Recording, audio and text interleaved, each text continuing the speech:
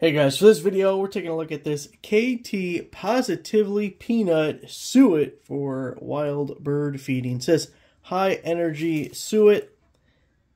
We're going to put it in one of our little feeders so they look something like this. Have a little door on it. You drop the guy in there and then hang it up. And we're going to do that, put a camera on this and see what kind of birds we get attracted to it. Now I will say this stuff will melt. It does say refrigerate for easy removal and for best results temperatures under 90 degrees. Now as I open this I'll tell you I left this in my truck for a day because I forgot about it and when I went out there it was mostly liquid basically just liquid so very low melting point. point and um, it's June I live in northern Illinois so we're not talking about Arizona or something uh, you know in the middle of summer where it's incredibly hot